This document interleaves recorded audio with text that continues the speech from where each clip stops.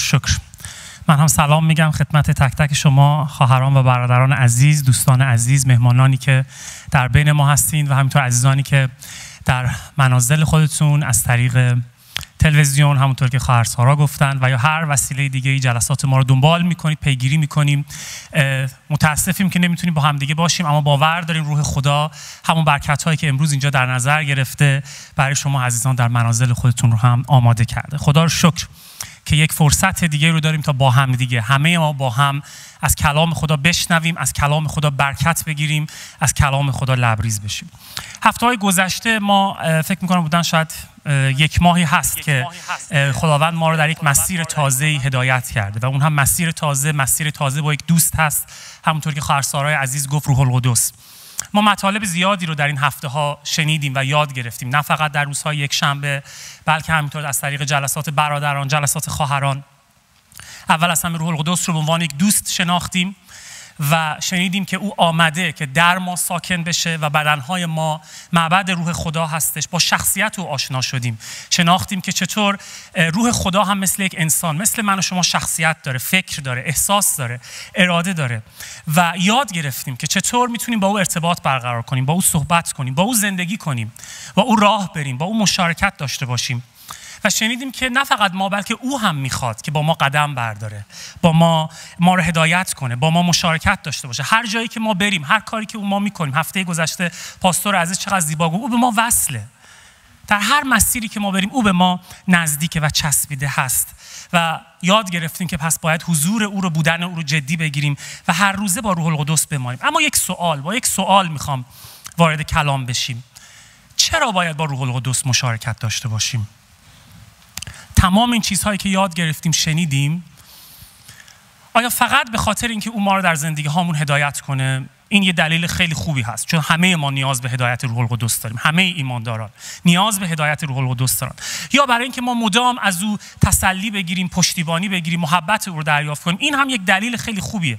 چون حقیقتا یک ایماندار بدون تسلی های روح القدس بدون پشتیبانی روح القدس بدون محبت های روح القدس نمی‌تونه به زندگی خودش ادامه بده. یا اینکه فقط یک دوستی داشته باشیم که می‌دونیم همیشه با ما و در ماست.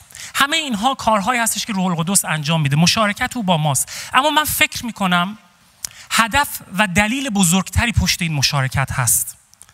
در واقع خدا هدف و دلیل بزرگتری رو پشت این مشارکت برای من و شما در نظر گرفته. اینکه چرا ما باید یک مشارکت دائمی داشته باشیم. آیا دوست دارید بدونید هدف و دلیل بزرگتر چی هست؟ آمین. هر موقع ما می‌خوایم عزیزان به نقشه خدا پی ببریم به پلن خدا به آرزوی خدا برای انسان پی ببریم باید برگردیم به باغ عدن به ابتدای آفرینش جایی که خدا در روز ششم تصمیم گرفت. او تصمیم گرفت یک موجودی رو خلق کنه. موجودی که مثل موجودات دیگه نبود. و این موجود رو فقط همینطوری نیافرید. ما در با آیه های می‌بینیم در پیدایش باب یک که خدا آسمان ها رو پر از پرنده ها کرد زمین رو پر از حشرات کرد یا دریاها رو پر از آبزیان کرد. اما برای انسان وقتی که رسید یک هدف بزرگی داشت یک آرزویی داشت. یک آرزو داشت برای خلقت انسان. و اون رو ما در پیدایش باب یک آیات 26 و 27 می‌بینیم. موقعی که خدا تصمیم گرفت انسان رو خلق کنه آنگاه خدا گفت انسان را به صورت خود و شبیه خودمان بسازیم. و او بر ماهیان دریا و بر پرندگان آسمان و بر چهار پایان و بر همه زمین و همه خزندگانی که بر زمین میخزند فرمان براند. پس خدا انسان را به صورت خود آفرید. او را به صورت خدا آفرید. ایشان را مرد و زن آفرید. پس خدا گفت بیایم انسان رو به صورت ما و شبیه ما خلق کنیم. عزیزان به شباهت خدا یا به صورت خدا به این معنی نیستش که خدا خدایی که آدم و حوا با مشارکت داشتن شبیه ما بود دست و پا داشت چشم و دماغ و دهن و اینها به این منظور نیست. منظور از صورت خدا شباهت خدا اون صفتهایی که خدا داراست اون ویژگی های اخلاقی خدا اون ذات خدا اون چیزی که خدا در ویژگی و در شخصیت خودش داشت. تصمیم گرفت انسان رو شبیه خودش بسازه. و اگر ما در باغ عدن بودیم و آدم و حوا رو می‌دیدیم می‌تونستیم بگیم ما خدا رو دیدیم پیش از گناه. چون او اونها شبیه خدا ویژگی های اخلاقی خدا رو داشتند. چه افتخار بزرگی خدا به انسان داد. این انتخاب خدا بود که انسان شبیه او خلق بشه. اما در مقابل این انتخاب آدم و هوا انتخاب دیگری کردند. اونها گناه رو انتخاب کردند. و وقتی که گناه رو انتخاب کردن دیگه نمی‌تونستند اون ویژگی های خداگونه رو با خودشون حمل کنن. چون متضاد ویژگی ها و صفت های خدا بود. گناه، ناپاکی، ناراستی، تاریکی هیچ کدوم اینها در ویژگی های خدا یافت نمی‌شد. و ما می‌بینیم که یک شکاف و یک جدایی در همون جا در انسان و در نطفه انسان ها به وجود اومد. من فکر می‌کنم ما اگر آدم و هوا باز بعد از گناه هم می‌دیدیم یه مقدار می‌تونستیم بگیم هنوز شبیه خدا هستن چون یه مقدار اون ویژگی ها رو داشتن. اما هر چقدر زمان گذشت این شباهت دورتر و دورتر شد. این تصویر خراب و خرابتر شد. چقدر زیباست. کلام خدا گناه رو به جزام و گناهکار رو به جزامی تشبیه می‌کنه. عزیزانی که بیماری جزام رو می‌شناسن یا احیانا اگر جزامی ها رو دیدن جزام یک بیماری خورنده است. یک شخصی که دچار بیماری جزام میشه این بیماری شروع می‌کنه تمام سلول های زنده بدن رو خوردن. هر سلولی که حیات داره. و بعد از چند وقت شخص جزامی اصلا شبیه آدم های عادی نیست. تمام صورتش من دیدم اصلا جای چشما خالی میشه جای دهن و دماغ عوض میشه. تو اصلا نمی‌تونی بگی این انسان آدمه. دیگه شبیه انسان نیست. و گناه در واقع همین کار رو عزیزان با من و شما کرد. و این دور شدن از اون ویژگی ها از اون شباهت خدا اونقدر زیاد شد اونقدر ادامه پیدا کرد که دیگه تقریبا هیچ کسی نمی‌دونست خدای حقیقی چه ویژگی هایی داره چه مشخصاتی داره. هر کسی یه جور خدا رو معرفی می‌کرد. تا اینکه باز هم تا اینکه باز هم این خدای عاشق به جان انسان خودش تصمیم گرفت که پسر خودش رو بفرسته تا به ما نشون بده به انسان ها نشون بده. انسانی که شبیه خداست انسانی که به صورت او ساخته شده به صورت او آفریده شده چه شکلیه؟ چه ویژگی هایی داره؟ عیسی چه مشخصات و چه ویژگی هایی داشت که پولس رسول در رساله خودش به کلوسیان باب یک آیه 15 گفت؟ او صورت او تصویر خدای نادیده است. او صورت خدای نادیده است. یعنی هر کسی عیسی رو می‌دید می‌تونست بگه من خدا رو دیدم. عیسی عزیزان با زندگی خودش بر روی زمین با شخصیت و طرز رفتار خودش بر روی زمین خدای نادیده رو به انسانها آشکار کرد. این مشخصات و ویژگی های رفتاری عیسی بود. که او رو از بقیه متمایز می‌کرد او رو جدا می‌کرد. وگرنه اشعیا باب 53 آیه دو میگه او را نه شکل و شمایلی است که به او بنگریم و نه ظاهری که مشتاق او باشیم. عیسی اصلا شخص جذاب از نظر ظاهری نبود. شکل و شمایلی نداشت که کسی به او نگاه کنه. اما ویژگی های اخلاقی او صفت های او منش او عزیزان جوری بود که بعد از دو هزار سال هنوز که هنوز میلیون ها میلیون انسان دارن او رو پیروی می‌کنن او رو دنبال می‌کنند. فقط و فقط به خاطر اینکه او ویژگی ها و صورت خدا رو داشت. بیاییم انسان رو به صورت خود و شبیه خود بسازیم. این آرزوی دل خدا بوده و هست. آرزوی خدا برای اینکه شخصیت اخلاقی و رفتاری انسان سقوط کرده در گناه تبدیل بشه عوض بشه برگرده به همون خلقت زیبایی که او در باغ عدن آفرید. اول از همه او عیسی رو فرستاد. عیسی رو فرستاد تا همه ببینند که آیا میشه روی این زمین سقوط کرده در گناه خداگونه زیست کرد. عیسی به این سوال یک جواب بله داد. یک بله محکم. او که صد درصد مثل من و شما انسان بود روی این زمین بدون هیچ گناه بدون ناپاکی و با تمام خصلت ها و ویژگی های خدا زندگی کرد. عیسی نشون داد به من و شما که میشه روی این زمین صورت و شباهت خدا رو داشت. و بعد از اون تصمیم گرفت خدا که قدرت برتر خودش رو بفرسته روح قدوس خودش رو بفرسته روح خدا که تمامی صفتها و ویژگی های شخصیتی عیسی رو در خودش حمل می‌کنه برای من و شما بفرسته تا من و تو رو من و تو ایماندار رو به آرزوی خدا نزدیک کنه. تا از طریق روح القدس من و شما به شباهت و به صورت او تبدیل بشیم. از این خصوصیت شخصیتی که در واقع شخصیت و ویژگی های اخلاقی خود عیسی مسیح هست فقط و فقط از طریق روح القدس در ما شکل می‌گیره. در واقع می‌تونم بگم عزیزان برای هر کسی که ایمان میاره و نجات رو دریافت می‌کنه به وجود اومدن این خصوصیت و ویژگی های شخصیتی و اخلاقی عیسی در ما اولین و بزرگترین خاندگی یک ایماندار هست. پولس رسول در رومیان باب 8 آیه 29 میگه خدا ما رو خواند خدا ما رو نجات داد تا به شباهت پسرش در بیایم. نمیگه خدا ما رو خواند تا ما خدمت‌های بسیار بکنیم تا کارهای زیادی انجام بدیم تا معجزات انجام بدیم. نه میگه خدا ما رو خواند خدا ما رو نجات داد تا به شباهت پسرش در بیایم. از این خواندگی اصلی و اول همه من و شما هر ایمانداری این هستش که چقدر هر روزه به پسر خدا عیسی شبیه و شبیه تر میشه. چقدر شخصیت عیسی در او شکل می‌گیره. و این عزیزان بزرگترین و مهمترین دلیل فرستادن روح القدس برای ما آمین. روح القدس آمد تا شخصیت من و تو رو تبدیل کنه. روح القدس آمد تا شخصیت من و تو رو عوض کنه به شباهت عیسی در بیاره. خواندگی اصلی من عزیزان در زندگی من نه موعظه است نه تعلیم نه هیچ خدمت دیگه ای خواندگی اصلی و اول من این هستش که هر روز جد و جهد کنم تلاش کنم که به عیسی مسیح خداوند و ویژگی های شخصیتی او نزدیک و نزدیکتر باشم. خیلی دور هستم از این خواندگی. خیلی دور هستم. خیلی هنوز باید راه برم. اما یک باور و ایمان دارم. اون کسی که کار خودش رو در من شروع کرده تا به آخر به کمال میرسونه. و همینطور در تک تک ما عزیزان. و این ویژگی های شخصیتی صفت های اخلاقی عیسی که او خداگونه بودن رو زندگی کردن روی زمین رو به انسان ها نشون داد. چیزی که باعث شد پولس بنویسه که او صورت و مظهر خدای نادیده است رو ما در غلاطیان رساله غلاطیان باب 5 آیه 22 و 23 به عنوان ثمره های روح القدس می‌شناسیم.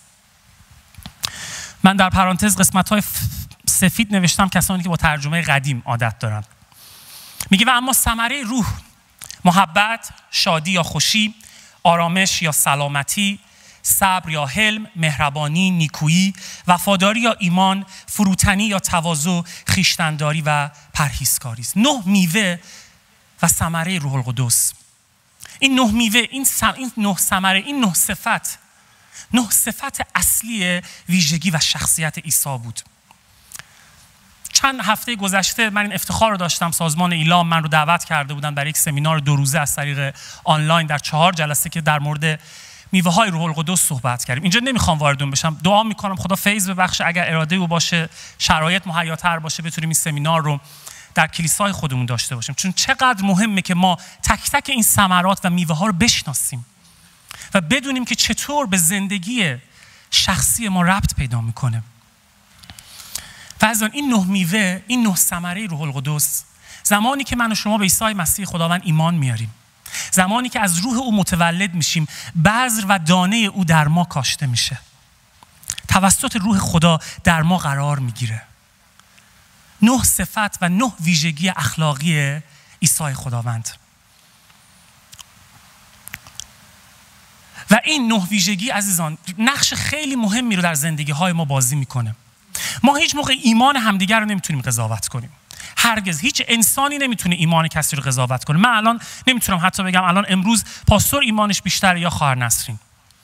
ایمانهای ما می‌تونه هر روز در دلهای ما متفاوت باشه. یک نفر که ایمان ایماندار تازه تولد یافته است امروز توبه و بازگشت کرده می‌تونه یک ایمان خیلی قوی تری از من داشته باشه که هفت ساله ایمان دارم.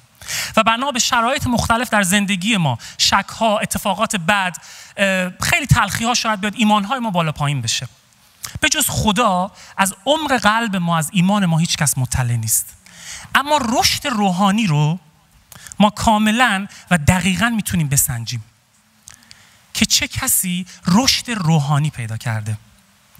و رشد روحانی رو عزیزان از طریق به وجود اومدن این نه ویژگی و نه شخصیت عیسی در ما هستش. چقدر این میوه ها و ثمره ها در ما دیده میشه در ما آشکار میشه این رشد روحانی ما رو نشون میده. رشد روحانی اصلا مثل رشد دنیایی نیست که هر کسی سنش بالاتر باشه پس رشدش کاملتره. هر کسی سالهاست خیلی قدیمی تر در کلیساست پس رشد روحانی بیشتری داره. نه. یک نفر می‌تونه سه سال اومده باشه تو کلیسا چهار سال اومده باشه تو کلیسا ولی انقدر این میوه ها و ثمرات روح خدا از او بیشتر دیده میشه. تا از یک کسی که 15 سال یا 20 سال در کلیساست دیده نمیشه. و ما رشد روحانی رو با این نه ثمره و نه میوه خیلی راحت می‌تونیم بسنجیم. و اینجاست که عیسی مسیح میگه آخرین ها اول خواهند شد و اولین ها آخر. آخرین هایی که میپیوندن به بدن مسیح. جدیتر می‌گیرن زندگی خودشون رو با روح خدا. بیشتر در تسلیم در سرسپردگی در وفاداری و در اطاعت میمونن و اجازه میدن این ثمرات در او دیده میشه. و اولین هایی که فکر می‌کنن چون سالها در کلیسا هستن پس به رشد کامل رسیدند. باشه که همگی ما جز اون آخرین هایی باشیم که اونجا اول بشیم. و عزیزان نکته ای رو که باید بدونیم. روزی که عیسی مسیح خداوند بازگشت کنه. ما خیلی در مورد بازگشت عیسی مسیح چند ماه صحبت کردیم. روزی که او بازگشت کنه او برای کلیسایی نخواهد آمد که خدمات خیلی زیادی کرده باشه. او برای کلیسایی نخواهد آمد که عطایای مافوق و طبیعی روحانی در اون کلیسا دیده بشه. او برای کلیسایی نخواهد آمد که هر هفته در اونجا آیات و معجزات اتفاق بیفته و یا کلیسای خیلی معروف و پرسر و صدایی باشه. بلکه عیسی عزیزان برای کلیسایی برخواهد گشت. برای ایماندارانی برخواهد گشت که در اون کلیسا افرادی رو شبیه به خودش پیدا کنه. که در سیرت که در رفتار که در شخصیت شبیه خداوندشون شده باشن. حتی اگر اون کلیسا خیلی کوچیک باشه خیلی گمنام باشه خیلی بی سر و صدا باشه حتی اگر اون ایماندار در طول زندگی خودش حتی یک عطیه هم نداشته باشه هیچ خدمتی نکرده باشه. اما شخصیت او توسط تسلیم به روح خدا شبیه عیسی شده باشه. عیسی برای این چنین ایماندارانی باز خواهد گشت. این رو در کجا می‌بینیم؟ در انجیل متی باب 7 آیه 22 و 23 عیسی مسیح خداوند میگه در آن روز روزی که من باز خواهم گشت بسیاری مرا خواهند گفت سرور ما سرور ما. آیا به نام تو نبوت نکردیم؟ آیا به نام تو دیوها را بیرون نراندیم؟ آیا به نام تو معجزات بسیار انجام ندادیم؟ چه عطایای عالی. کیه که دوست نداره نبوت کنه؟ ما صحبت می‌کنیم در مورد نبی. کیه که دوست داره قدرت اخراج ارواح نداشته باشه یا آیات و معجزات نکنه من همیشه دعا می‌کنم برای این عطایا کلام خدا میگه به غیرت بطلبید. اما عیسی میگه تمام کسانی که این کارها رو کردن اینا بی ایمان ها. نیستن خطاب به کلیساست. ایمانداران هستن. میگه اما به آنها به سراحت خواهم گفت. هرگز شما رو نشناختم. از من دور شوید ای بدکاران. ایماندارانی که عطایای خیلی بزرگی داشتند. دیوها رو اخراج می‌کردند. آیات و معجزات انجام می‌دادند. در کلیسه ها می ایستادند و نبوت می‌کردند. عیسی میگه من شما رو نمی‌شناسم. جالب نیست؟ عیسی میگه من شما رو نمی‌شناسم. عزیزان داشتن عطایای بیشتر یا بزرگتر خدمتهای بیشتر به هیچ وجه نشان دهنده رشد بالاتر من و تو نیست. بلکه بیشتر آشکار شدن ثمرات روح القدس نشان دهنده رشد بیشتر ماست. عطایا عزیزان فقط و فقط جلوه ظهور قدرت خدا بر روی زمینه. جلوه آشکار شدن قدرت خدا در کلیساست. عطایایی که خدا به ما میده برای ما نیست. ما اونها رو کسب نمی کنیم ما اونها رو به زور به دست نمیاریم. یاد نمی‌گیریم. بلکه خدا این فیض رو میبخشه تا از طریق این عطایا بدن خودش رو خدمت کنه کلیسا رو خدمت کنه. خدای ما ازن اونقدر پر از فیضه اونقدر پر از رحمته اونقدر پر از نیکویه که به خاطر حتی نیاز یک شخص رو برطرف کنه می‌تونه در یک آدم اشتباه حتی قوت ببخشه اگه عطیه ای رو از او جاری کنه. به پولس رسول خبر دادن افرادی با انگیزه های اشتباه دارن موعظه می‌کنن با خودخواهی. گفت بذارید بکنن من خوشحالم. چون مسیح داره موعظه میشه و افراد دارن نجات پیدا می‌کنن بگذار اونها با انگیزه اشتباه موعظه کنند. از این خدا حتی از یک خر من و شما ایماندار بذاریم کنار. از یک خر می‌تونه استفاده کنه. که پیام خودش رو برسونه و نبوت کنه. در عهد عتیق می‌بینیم از خر بلعام استفاده کرد خدا تا از طریق او سخن بگه. ولی من هرگز فکر نمی کنم ما خر بلعام رو به عنوان یک ایماندار نجات یافته در آسمان ببینیم. ما هرگز رو نخواهیم دید. در صورتی گفته های او رو در کلام خدا داریم. میگه خر شروع کرد به صحبت کردن و نبی رو هشدار داد.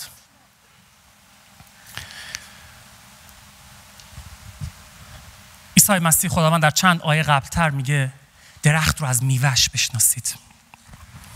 درخت رو از میوهش بشناسید. اگر من یک ایماندار رشد یافته هستم اگر ادعا می‌کنم به بلوغ روحانی رسیدم نباید فریاد بزنم. از میوه من. یک درخت سیب فریاد نمی‌زنه من سیبم من سیبم. تو رو خدا بیاین از من بچینید بخورید من خوشمزدم نه. در سکوت در آرامی درخت سیب هست. تا رشد کنه. چند سال بگذره. میوه بده و دیگران خواهند آمد. از میوه او خواهند چید و خواهند خورد. و میگن این عجب درخت سیبی است.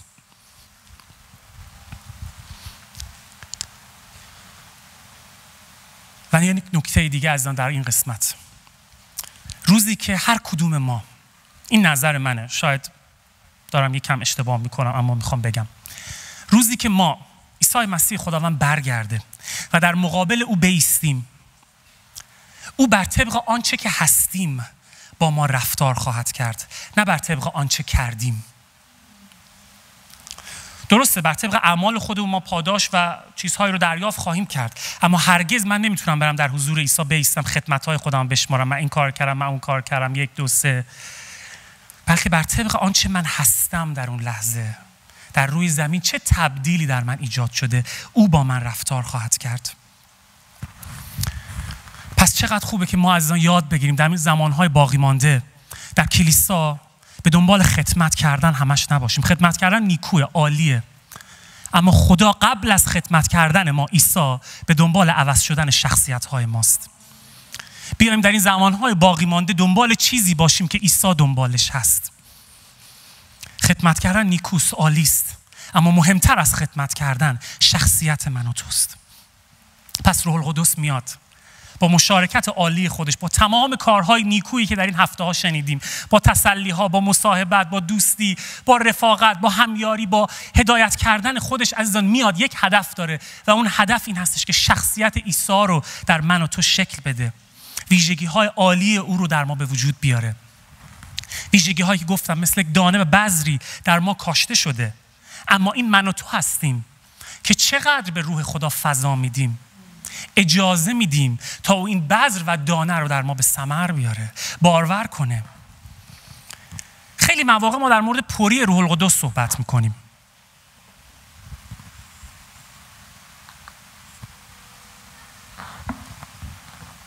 پری روح القدس یعنی چی؟ همینطوری خودتون بخوایم فکر کنید به نظر شما یه کسی که ببینید بگید واو این پر از روح القدسه چه مشخصاتی داره؟ چه کسی رو می‌بینید و فکر می‌کنید این شخص پر از روح القدسه؟ کسی که مدت‌های طولانی میسته و به زبانها دعا می‌کنه خیلی دعاهای پرقدرتی داره؟ یا خیلی در دعا و شفاعت خیلی قویه پس پر از روح القدسه؟ کسی که عطایای روحانی خاصی داره این شخص حتما پر از روح القدسه؟ کسی که موعظه می‌کنه یا تعلیم میده حتما پر از روح القدسه؟ که داره موعظه می‌کنه یا, کسی که دائما مشغول خدمته هر دفعه میاد در کلیسا خدمت خودش انجام میده خیلی وفادار میاد و میره. آیا این شخص حتما پر از روح القدسه نه. هیچ کدوم اینها نشانه پری روح القدس نیست. از کوزه همان برون تراوت که دروست هر چیزی که عزیزان از من و از شخصیت من از رفتار من آشکار میشه به بیرون میاد. نشون میده که من از چه چیزی پر هستم. غلاطیان باب 5 آیه 25 آیه بسیار زیبایی است. خیلی این هفته این آیه من رو به چالش کشید. میگه اگر دور این اگر در کتاب مقدس های خود یک دایره قرمز بزرگ بکشید و هر جا در کلام خدا اگر دیدید یک مکسی بکنید. چون خدا داره یک شرطی برای من و شما می‌ذاره. میگه اگر به روح زیست می‌کنیم اگر ادعا می‌کنیم که با روح القدس داریم زندگی می‌کنیم اگر شهادت میدیم که من با روح القدس حرف می‌زنم از من نمی‌خوام شهادت ها رو یه موقع خار بشمارم بی احترام می‌کنم هرگز. شهادت ها نیکوست شهادت ها عالیست. ولی اگر ما میگیم که ما مدام با روح القدس در ارتباطیم با روح القدس صحبت می‌کنیم روح القدس با من صحبت کرد روح القدس با من حرف زد من او رو لمس کردم تجربه کردم پولس رسول میگه میگه اگر داری با او زندگی می‌کنیم پس به روح نیز رفتار کنیم. پس به روح نیز رفتار کنیم. رفتار در روح یعنی چی عزیزان؟ در همون رساله غلاطیان باب پنج آیه 16 و 17 هست. پولس میگه اما می‌گویم به روح رفتار کنید که تمایلات نفس را به جا نخواهید آورد. زیرا تمایلات نفس برخلاف روح و تمایلات روح برخلاف نفس. و این دو بر ضد همند. به گونه ای که دیگر نمی‌توانید. هر آنچه را که می‌خواهید به جا آورید. میگه به روح رفتار کنید و به روح رفتار کردن یعنی تمایلات نفس رو به جان نیاوردن. تمایلات نفس رو در همون غلاطیان باب پنج از آیه 19 نوشته. من سری می‌خونم. میگه اعمال نفس روشنه بی افتی یا زنا ناپاکی هرزگی بتپرستی یا جادوگری دشمنی ستیزجویی رشک خشم جاه طلبی نفاق دستبندی حسد مستی عیاشی و مانند اینها. پوری روح القدس یعنی عزیزان چقدر من و شما از تمام تمایلات نفس خودمون دور شدیم اونها رو سرکوب کردیم هر چیزی که نفس ما می‌خواد. و چقدر بیشتر به این صدای روح القدس که میشنویم که ما رو هدایت می‌کنه از او اطاعت می‌کنیم. پوری روح القدس یعنی اینکه چقدر من و شما هر روز خودمون رو به کلام خدا میسپاریم از کلام خدا می‌خونیم و از کلام خدا اطاعت می‌کنیم. پوری روح القدس یعنی چقدر من و شما تسلیم و سرسپرده روح خدا کلام خدا و رهبران خودمون هستیم. پوری روح القدس یعنی چقدر من و شما هر چیزی که خواست ماست تمایل ماست نفس ما رو پرور میپرورونه چیزی که علایق ماست. چقدر از اونها خالی شدیم و چقدر اجازه دادیم شخصیت مسیح در ما آشکار بشه. بهترین تعریف رو یحیای تعمید دهنده از پوری روح القدس داشت. گفت مسیح باید در من افسوده و من باید کاسته بشم. این یعنی پوری روح القدس هر چقدر که عیسی مسیح خداوند صفتهای او ویژگی های او شخصیت او در من و شما افسوده میشه و من و تمایلات نفس من کمتر میشه کمتر میشه کمتر میشه. این یعنی پریه در روح القدس.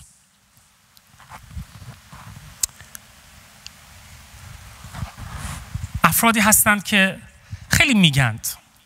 خیلی جای کلام خودش درد داشته باشه افرادی ناراحت بشن اشکال نداره. کلام خداست. به جهت تنبیه تعلیم اصلاح و تربیت نه به خاطر اینکه ما رو ویران کنه بلکه میگه تا مرد خدا تا زنت خدا به کمال به, به جهت هر عمل نیکو آراسته بشه. افرادی هستن که شهادت میدن که من با روح القدس دارم زندگی می‌کنم روح القدس با من صحبت کرد به من این مکاشفه رو خیلی چیزهای از روح القدس گرفتم تسلی گرفتم ولی هنوز از اونها دروغ بیرون میاد. هنوز غیبت میاد هنوز سخنچینی میاد هنوز تهمت زدن میاد هنوز پشت سر برادر خواهر حرف زدن میاد. هنوز دزدی می‌کنن هنوز زنا می‌کنن هنوز خیلی راحت می‌تونن با ناپاکی ارتباط برقرار کنند. و کلام خدا به این گونه افراد میگه دارید خودتون رو گول می‌زنید. در غلاطیان باب 6 آیه 7 و 8 ترجمه هزار نو نوشته فریب نخورید ترجمه قدیم نوشته خود را فریب ندهید. خود را فریب ندهید. خودتون رو گول نزنید. و دنبالش خیلی جمله دردناکیه. میگه خدا رو نمیشه مسخره کرد. خدا رو استهزا نتوان کرد. خود رو فریب ندهید. خدا رو نمیشه مسخره کرد. انسان هر چه بکارد همان رو خواهد دروید کسی که برای نفس خودش میکاره از نفس تباهی رو خواهد کرد. اما کسی که برای روح میکاره از روح حیات جاودان خواهد دروید. کسی که عزیزان داره مدام از نفس خودش خودش رو تغذیه می‌کنه از خودخواهی های خودش از هر آن چیزی که دور نفس خودشه چیزی جز تباهی در این زندگی دنیایی خودش. هر آن چیزی که داره رو به تباهی میره. اما کسی که اجازه میده از روح خدا کار کنه برداشت کنه از خصوصیت و ویژگی های او ثمرات حیات جاودان رو می‌بره. عزیزان پدر آسمانی ما ما رو خوانده تا ما شبیه پسر او شبیه پسر او عیسی بشیم. و برای شبیه شدن به عیسی ما رو دست خالی رها نکرده. مثل مذهب و شریعت من گفته کارهای زیادی رو باید انجام بدی. تا شاید یک ذره خدا به تو لطف کنه. نه. بلکه اون بزرگترین قوت و پشتیبان و مدافعی که ما نیاز داریم. یعنی روح القدس رو به ما بخشیده. روح القدس که در زندگی ما ما رو پشتیبانی می‌کنه به ما کمک می‌کنه در سختی های ما ما رو تسلی میده. ما رو هدایت می‌کنه. تا از خودمون و از مرزهای خودمون از ناتوانی های نفس خودمون از اون جایی که چسبیدیم به آرزوها و خواسته های خودمون بتونیم عبور کنیم و بیفتیم در مسیر شبیه شدن به عیسی مسیح خداوند. روح القدس عزیزان آمد تا من و شما برگردیم به اون آدمی که خدا در پیدایش باب, باب یک آیه 26 و 27 آرزو کرد که بیایید انسان رو موافق و شبیه ما بسازیم. روح القدس آمد من و شما هم عزیزان مثل عیسی تبدیل بشیم به صورت خدای نادیده. و عزیزان مشارکت با روح القدس اگر من و شما رو شبیه عیسی نکنه مشارکت با روح القدس این مسیری که داریم شروع می‌کنیم خیلی خوب آگاهانه شروع کنیم. زمانهای زیادی رو هنوز با روح القدس خواهیم رفت. در تعالیم در کلام و در زندگیمون. روح القدس مشارکت با روح القدس. اگر من و شما رو شبیه عیسی نکنه اگر نسبت به گذشته خودمون این میوه ها و این ثمرات روح القدس رو در ما به وجود نیاره اگر شخصیت عیسی در ما به وجود نیاد و تبدیل نشیم این مشارکت هرگز و هرگز و هرگز یک مشارکت حقیقی نیست.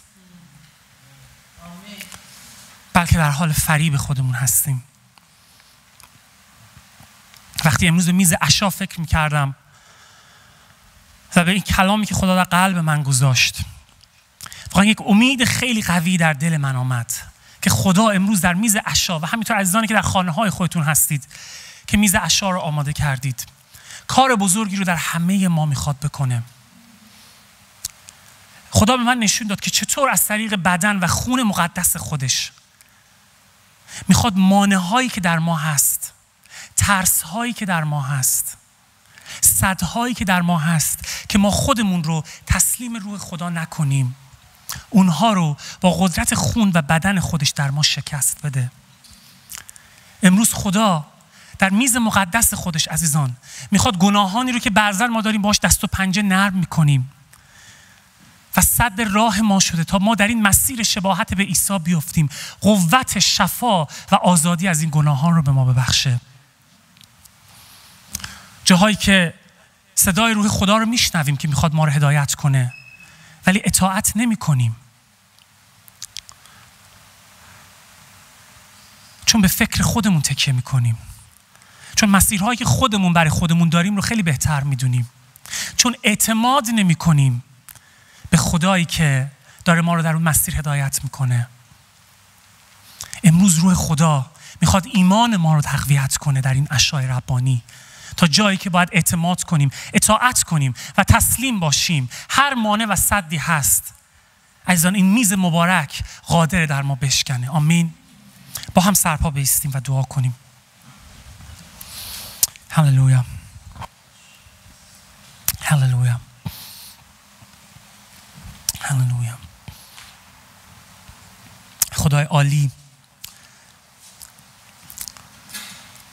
وقتی به این فکر می‌کنم ای خدای عالی وقتی که تو در باغ عدن تمامی خلقت رو خداوند تو آفریدی و بزرگترین خداوند آرزوی خودت رو برای انسان گذاشتی.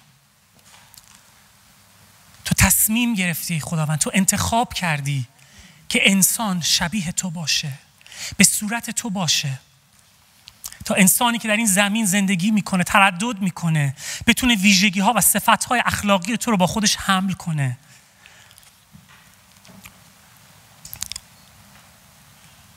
و خداوند تو رو شکر می‌کنم که تو هرگز خداوند ناامید نشدی. حتی مایانی که خداوند گناه کردیم و از این اراده تو خارج شدیم اما تو یک بار دیگه قدم خداوند پیش گذاشتی. پسر یگانه خودت رو فرستادی. تا به ما نشون بده که خداگونه زیست کردن یعنی چه. ای روح خدا ای تو که رفاقت با تو رو آموختیم ای تو که هر لحظه و هر ثانیه در کنار ما هستی ای تو که از عمق قلب ما آگاهی از فکرهای ما آگاهی. از خلاهای ما آگاهی از کمبودهای زندگی ما آگاهی از ناتوانی ها و بنبست های درونی ما آگاهی. از جاهایی که تمام وجود ما خواستنه اما تمام جان ما نتوانستن تو آگاهی. این روح خدا دعای من امروز این هستش که تو بیای خداوند. این پوسته سختی که خداوند در تمامی این سالها به دور ما بسته شده رو بشکنی. نفوذ کنی وارد بشی وارد قلب ما بشی. وارد احساس ما اراده ما افکار ما بشی. و اون بذر نیکوی میوه ها و ثمرات خودت رو در ما بارور کنی. خداوند روح و جان ما مشتاق توست. ای خداوند ما می‌خوایم که شبیه تو بشیم عیسی خداوند. ما می‌خوایم روزی که تو برمیگردی تو ما رو ببینی که ما شبیه تو شدیم. ما نمی‌خوایم بشنویم. بعد از سالها ماندن در کلیسای تو که تو به ما بگی من هرگز تو رو نشناختم. چقدر دردناکه. پس خداوند بیا ای روح خدا در ما کار کن. امروز هم مشتاقانه حضور تو رو میطلبیم. و باور داریم خداوند قدرت تو در ما عمل میکن